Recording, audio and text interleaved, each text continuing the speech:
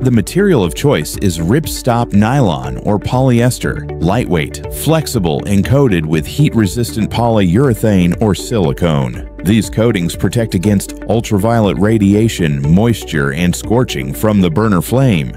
Each envelope is made up of vertical strips called gores, and each gore is stitched from smaller panels. Hundreds of panels are carefully measured, laser cut, and color coded. Balloon makers don't just build for function, they create works of art.